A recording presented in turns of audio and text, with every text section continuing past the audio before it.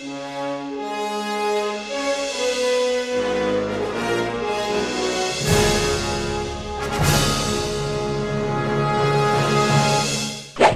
bien ou bof? Alors le débris film du jour, c'est Atomic.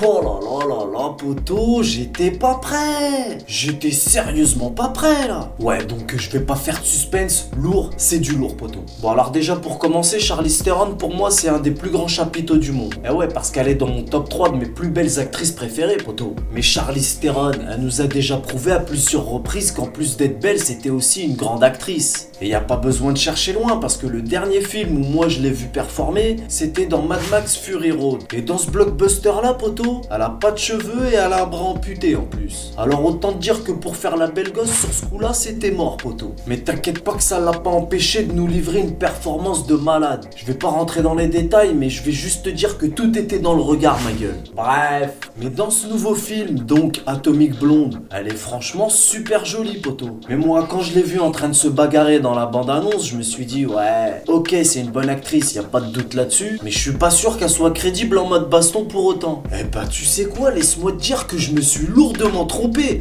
Franchement, je suis encore sous le choc. C'est quoi les garbas dans ce film? Bah, C'est du grand art. Franchement, je suis impressionné. Les cascades, les maquillages, la manière dont c'est tourné c'est du grand art. Je vais pas te parler de chorégraphie parce que là on n'est pas en mode kung fu poto. Ah non non non, là c'est de la vraie baston à l'ancienne, de la bagarre de rue. Ça se termine en rampant au sol avec des gémissements de gladiateurs. Là y a pas de beauté du geste ma gueule. Et du sang en veux-tu en voilà. Franchement je suis kécho par le réalisme des scènes d'action. Ah ouais là je pouvais pas te faire un débrief d'une minute trente, c'est pas possible. Ils nous ont vraiment respecté là pour le coup. Bon déjà là dans les bastons, y a pas de musique. Ah ouais, parce que là on est dans la réalité, ma gueule. Ça se tabasse fort. Oh là là là là, je sais même pas comment t'expliquer. Tout est dans le regard, encore une fois. Pour ça, elle est balèze. Mais en plus, elle est maquillée, du sang, des... pas de mythos. Là, ils sont flégons. Parce que dans les films, souvent, ils ont des petits nions, des petits stars, mais ils sont jamais flégons. Et dans la réalité, quand tu prends un big coca, tu t'es moche, tu vois, après. Comme je t'ai dit, là, on n'est pas dans la beauté du geste. Là, il n'y a pas de chorégraphie de kung-fu bien huilée. Non, là, on est dans la réalité. Là, ça se chiffonne au pif. Ça se jette tout ce qui traîne dans la gueule. En mode sale. Mais ça a l'air tellement réel, poteau. Au niveau des actions, au début du film, ça commence mandou, tu vois. Piano, piano. Mais à la fin, il y a une scène.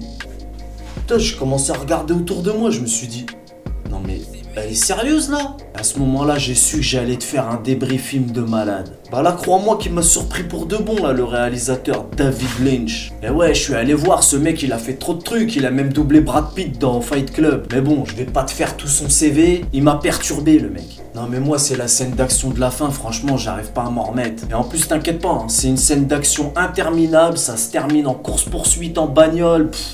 J'ai dit, j'étais pas prêt. Quand je repense à la gueule de Charlie Theron, le maquillage poteau, c'est une dinguerie. Et le regard, le jeu d'acteur. Oh là là là là là là c'est du grand art. Bon, je vais parler d'autres aspects du film parce que je t'ai dit, sinon je vais pas m'arrêter. Parce que le deuxième point fort dans ce film, c'est quelque chose qui m'a beaucoup plu, c'est la bande son poteau. Parce qu'il faut savoir que le film se déroule dans les années 80 en Allemagne et moi perso, la musique des années 80, j'adore. Donc déjà rien que ça, dès le début du film, quand j'ai listen les synthés à l'ancienne, direct j'ai kiffé. En plus, ils ont hyper bien géré les détails parce que c'est des bagnoles à l'ancienne, les vêtements à l'ancienne, tout ça franchement, ça a été bien réalisé et je vais terminer sur un point important parce que tu sais que moi, à chaque débriefing, je te préviens si tu peux aller voir ce film en famille ou pas. Et là, pour le coup, celui-ci est interdit au moins de 12. Il faut savoir que les films sont rarement pour public averti. Et je trouve ça bien que pour une fois, ils avertissent le public parce que moi, je pense qu'ils le font pas assez. Et ouais, parce que dans certains blockbusters américains, je te raconte pas, il m'est déjà arrivé de voir des parents avec leurs enfants être hyper gênés, tu vois. Et à chaque fois, c'est marqué nulle part qu'il y a des scènes olé olé, tu vois ou pas.